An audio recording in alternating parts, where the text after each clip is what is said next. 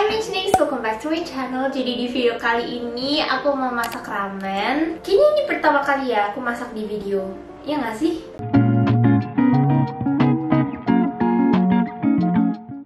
Jadi ini adalah savory instant ramennya restoran Ramen 89 Ramen ini ada 5 rasa, house ramen, herbal ramen, mala ramen, beef ramen, dan black garlic ramen.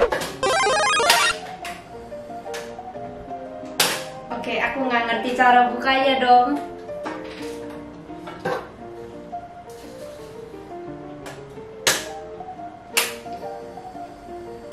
Oh my god, ayo. Thank you. Oke guys, apinya udah nyala. Jadi ini di belakang boxnya ada tutorial untuk cara masak ramen ini. Jadi step pertama itu kita masak dulu minyak dan kita buang airnya.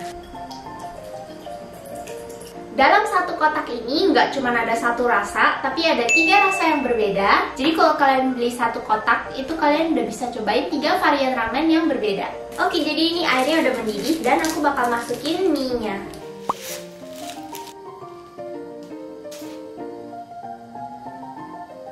Uh, satisfying dia kayak meleleh gitu. By the way, ini di depan aku ada 6 varian ramen, jadi semua rasa ada di sini. Tapi karena aku nggak bakal bisa habis makan semuanya, jadi aku bakal masak dua aja. Dan buat kalian yang mau nonton aku review rasa tiga lainnya, aku udah pernah bikin videonya. Aku makan di restorannya langsung. Linknya ada di description box. Uh, banyak banget ini. Wah. Ya.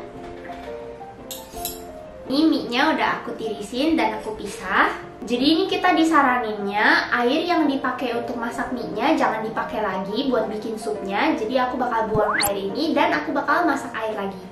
Ini ramen yang pertama aku mau masak itu yang beef ramen. By the way ini aku juga udah masukin topping-topping yang aku mau pakai. Kalian bisa pakai toppingnya terserah kalian. Ini paket bumbunya dan aku bakal masukin. Wangi banget. Uh. Ini aku masukin daging. Aduh, terus aku masukin bakso, masukin pakcoy. Wangi banget, parah. Terus aku bakal masukin mie yang tadi aku udah masak ke dalam supnya. Dan aku juga mau tambahin satu butir telur.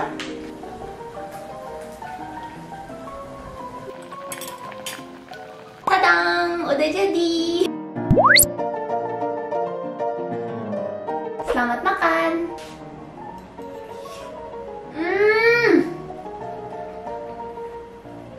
Walaupun ini instan dan bumbunya tinggal dimasak, aku bangga banget sih masak ini.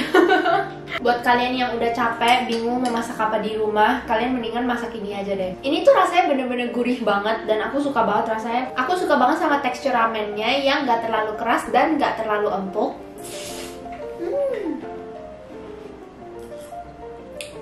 Nih, kalau kalian beli satu kotak, kalian bisa dapat tiga rasa ramen yang berbeda. Jadi ini bumbunya ada tiga karena tiga rasa. Kalian juga dapat mie-nya. By the way, ramen ini no pork and no lard ya.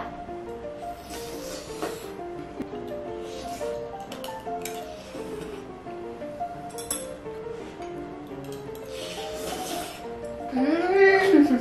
Sekarang waktunya masak yang mala. Rasa mala ini itu terkenal banget di China dan artinya itu pedes yang bikin mati rasa. Sih rasanya?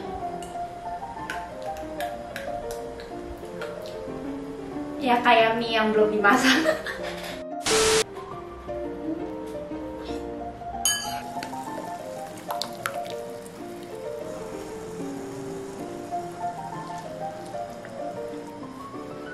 Karena aku suka banget makan ramen pakai sayur, jadi ini aku tambahin lagi sayur pakcoy.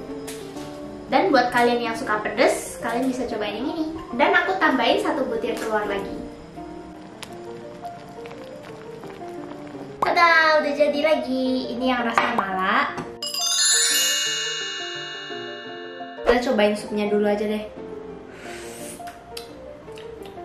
Wah, pedas.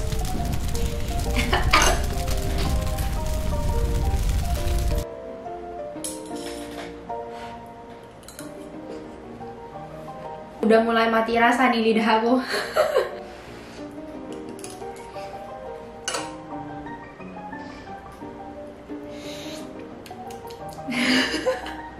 Ah mati rasa lidah aku. Ya, aku bakal lanjut abisin ini nanti aja. Pedes banget.